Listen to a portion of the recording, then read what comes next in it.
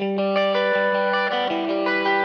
Maya Holmes. And I'm Brittany Wooten. And we're the Blonde Bombshells. It seems that Portland has yet again been the starting point for another breakout band. The Thermals frontman Hutch Harris has a new solo project called Forbidden Friends. What else can you guys tell us about the music video? Hey guys, we're Chin Up Rocky.